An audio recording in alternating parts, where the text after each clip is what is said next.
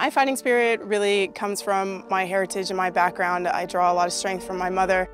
Overcoming a lot of the things that she has seen really gives me the strength to fight a lot of the battles that I see today in and out of the Marine Corps.